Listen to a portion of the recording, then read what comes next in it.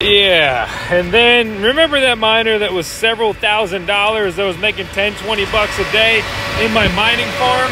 Okay, I'm out here at the VoskCoin mining farm. It's getting pretty loud in this thing, but let me give you an update on this guy.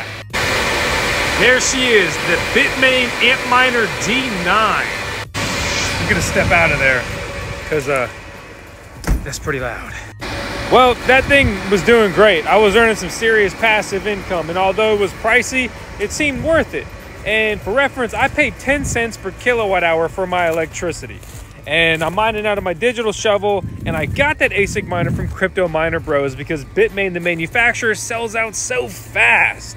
Also, code VoskCoin to both of those to save some coin. I know, shameless plug. What an influencer. What a loser.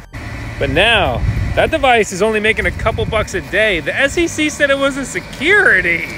That's about 0.31 Dash.